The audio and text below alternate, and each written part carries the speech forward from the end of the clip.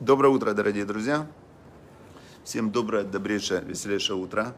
И мы продолжаем наш уроки Торы, потому что Тора – Эцхаим, древо жизни, она для тех, кто за нее держится, а тот, кто ее поддерживает, он что? Он счастлив, мы ушар. Эцхаими лемагзитимба, в этом хэме ушар. Значит, я из больницы, поэтому сегодня будет опять чуть короче урок. А, значит, чуть он будет сегодня короче я хочу вам, сейчас я не знаю, надеюсь, что это не прервется, прочитать все. Вот, все. Надеюсь, что вы меня слышите, слушайте.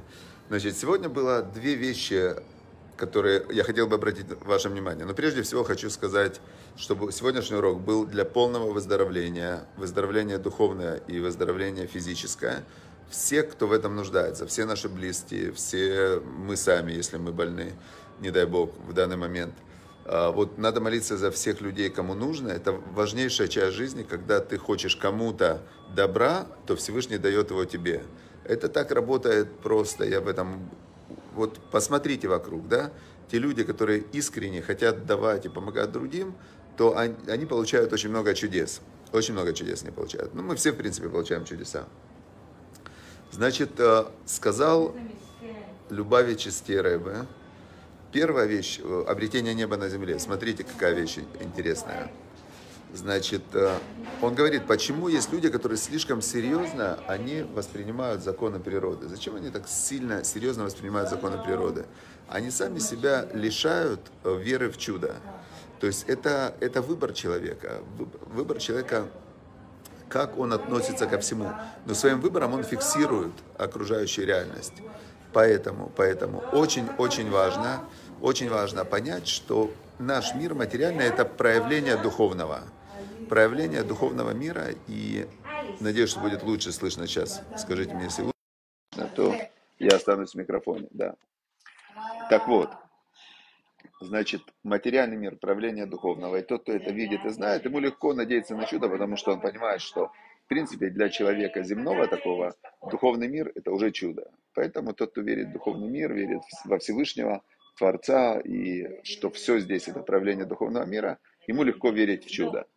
Теперь дальше. Дальше мы, вторая мысль была такая, что когда ты идешь, например, по улице, и ты думаешь в это время какие-то святые мысли, слова Торы, думаешь про Всевышнего, благодаришь Всевышнего, и стараешься увидеть в этот момент проявление вот этого духовного мира, самое простое это и живо изучая Тору, если молясь, благодаря, если ты это делаешь, то ты э, как, э, как такая лампочка света в материальном таком пространстве.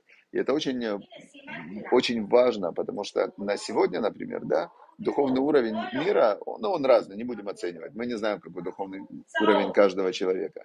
Каждый человек вот тут может быть, он может быть невероятным праведником, таким, а мы просто не видим это. Мы же не видим, мы смотрим только на одежду, мы смотрим на какие-то внешние факторы.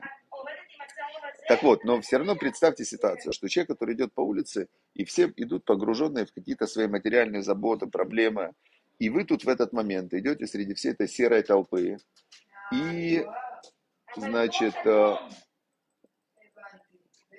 да, чтобы было вот, э, Ася пишет, что кто-то ушел из этого мира, чтобы было ему, чтобы было ему там э, очень хорошо, чтобы душа шла прямо в рай. Самый тяжелый момент – это уход, вот этот вот переход из этого мира, когда душа выходит из тела, это самый тяжелый переход. Потом уже душе там легко, хорошо и все отлично. Но вот этот вот переход мы так привыкли, что воспринимать себя как одно целое, что когда отделяется душа от вот этого материального тела, то это очень-очень сложный процесс, да. Но потом, я слышал, что потом все хорошо. Так вот, еще раз. Э, идея, как сделать рай на земле. Вы идете, вокруг все люди погружены в мысли не о Всевышнем, они его просто не замечают, да.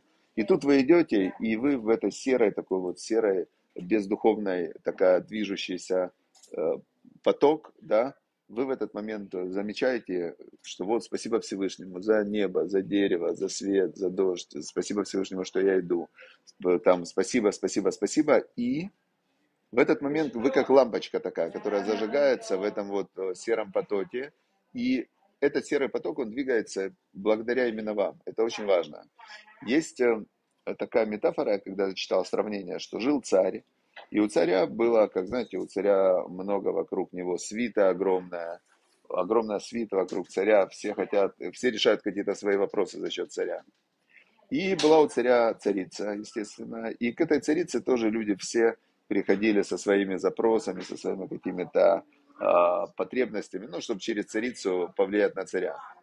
Царица, значит, она старалась всем помогать, но невозможно всем помогать. Ты все равно, как бы, ты должен все время выбирать, кому помогать, что приоритетнее, где, где твоя помощь более нужна. То человек все время в выборе. Эта царица, она не могла помочь всем. Кому-то она не, не помогла. И тот, кому она не помогла, он на нее не взлюбил. И были там, знаете, всегда вокруг царя есть козни разные, такие интриги. И кто-то царю на, на эту царицу настучал, настучал ей вообще, что она там его обманывает и так далее. То есть очень плохие вещи про нее рассказал. Ну, царь, он, он царь. Царская власть держится только на строгости, поэтому Всевышний царь. И надо понимать, что Всевышний добрый, любящий, но он царь. И царь, значит, приказал, чтобы ее, эту царицу, бросили в тюрьму. Посадили. Ее посадили в тюрьму, и сидит царица в этой тюрьме. До этого она была всем нужна, всем во всех не бегали, когда через нее можно было решать вопросы с царем. Но когда она сидела в тюрьме, уже все про нее забыли. Забыли все про нее. И тут к ней приходит один человек и говорит этой царице, вы знаете, говорит, «Э, я просто вот хочу вам помочь от чистого сердца. И вот он ей принес какую-то подушку простую, какое-то одеяльце простое он ей принес. И это не было, как раньше приносили там подарки, бриллианты, картины, а он ей принес что-то простое. И она так обрадовалась, она такая была счастливая, она просто, даже просто добро, то, что о ней этот человек вспомнил, ей было очень приятно. И прошло еще какое-то время, и царь, он изменил свое к ней отношение, он подумал, осознал и поменял он к ней отношения, и вернул царицу к, к себе во дворец. Сразу все опять про нее вспомнили, все давай, царица, да, там вот, молодец, там это самое. Начали, она говорит, стоп, стоп, стоп, знаю я цену вашим всем этим. Но когда все хорошо, так я всем нужна. А когда, а, вернее, когда я царица, да, так я, вы все ко мне хорошо относитесь. А когда я в тюрьме сидела, так ко мне пришел только этот человек. А ну-ка давайте его найдем, и ему, значит, она, только ему она и стала доверять. Вот то же самое, когда вы идете вот в этом сером потоке людей, которые не помнят про Бога, и которые из-за этого погружены в миллион разных проблем, которые сами же пытаются решать, в этот момент, если вы помните о Боге, если вы помните о том, что, что вы Ему благодарны, помните все то хорошее, что Он для вас сделал, если вы к Нему обращаетесь не только когда плохо, когда надо что-то попросить, а вы целыми днями Его благодарите, то у вас с Ним есть контакт. Если у вас с Ним, с ним контакт, и с Божьей помощью, когда, не дай Бог, если, не дай Бог, придется его чем-то просить, так ваша просьба будет э, очень быстро удовлетворена к вашему благу.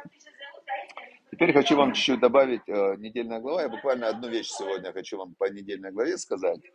Значит, э, сегодня описывается, продолжает описываться ввод в должность, должностные инструкции и ввод в должность священников, которые служили в храме.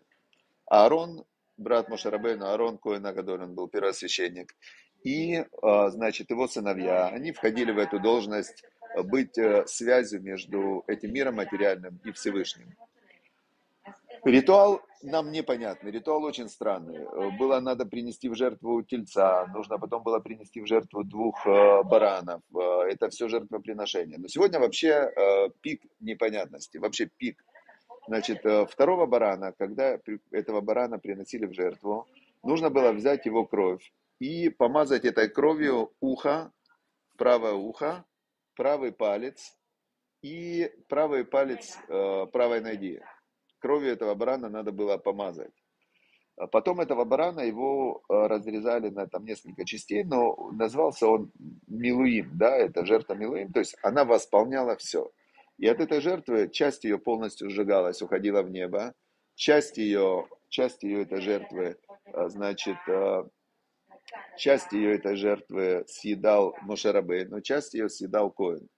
И это такая жертва была, от которой все получали удовольствие, которая полностью она уходила на святое. На святое. Теперь, что отсюда мы учим? Значит, Всевышний так создал этот мир, он стоит на вере. То есть весь мир стоит на вере. Праведник верой своей будет жить, и неправедник верой своей будет жить.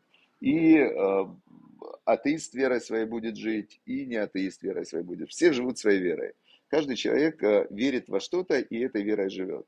И он своей верой, он создает ту реальность, в которой, в которой э, он находится. Вот мы сейчас с вами, спасибо огромное, все, кто молится за моего отца, спасибо огромное. Чудеса, чудеса. Я просто очень хочу, чтобы вот э, есть улучшение, слава Богу, есть улучшение. И слава Богу, я хочу, чтобы вот прямо я об этом хочу написать, все, как работает молитва. То, что это только чудом, то, что это только молитвами, но через врачей, понятное дело. Но сегодня даже медсестра говорит, это просто поток чудес. Почему я зашла сегодня, почему я сюда посмотрела, почему я это увидела, почему это увидела. Прямо даже медсестра, которая не выглядит религиозно, она говорит, я вижу чудеса, вижу чудеса своими глазами. Вот, поэтому сила молитвы это огромная сила, невероятная сила. И, а, но эта сила базируется, сила эта, она базируется на таких непонятных действиях, как смазать кровью барана мочку уха и, там, и так далее. То есть какая связь? Почему первосвященник должен э, делать вот эти вот какие-то непонятные вещи? И ответ очень простой. А, вера, она проверяется действием. Она проверяется действием. То есть если ты веришь, но ты ничего не делаешь, исходя из этой веры, то это, это не вера, это просто идея, ну, просто идея. Поэтому нужно, если ты веришь в Бога, то эта вера должна подтверждаться теми действиями, которые Бог сказал. А действия эти, которые Бог сказал, они в том-то и дело. Если они нам понятны, так это уже не Бога действия. Это мы своей говорим, да, ты знаешь, Бог такой же умный, как я, я с ним согласен, да, я буду делать то, что я понимаю. Бог молодец. А если ты говоришь, ну я не понимаю, вот реально, ну зачем это делать? За какая мочка уха? Почему кровь барана? Все. Это я говорю сейчас про недельную главу. А у нас в жизни непонятно, зачем одевать твилин, как он работает. Тут твилин, тут твилин. Зачем, э, зачем цицит эти носить? Зачем этот шаббат? Я не понимаю. Зачем Бог сделал шаббат? Если бы я понимал, я бы делал. Так это бы тогда бы не было бы, ты бы не делал то, что Бог сказал делать это не является проявлением веры в Бога. Вот это вот очень важная такая вещь. Поэтому давайте подведем итог. Первое, этот мир, опять же, я вам говорю сейчас, как я верю, он управляется духовным миром. То есть мы молимся Всевышнему, Всевышний в духовном мире производит изменения там, и так далее.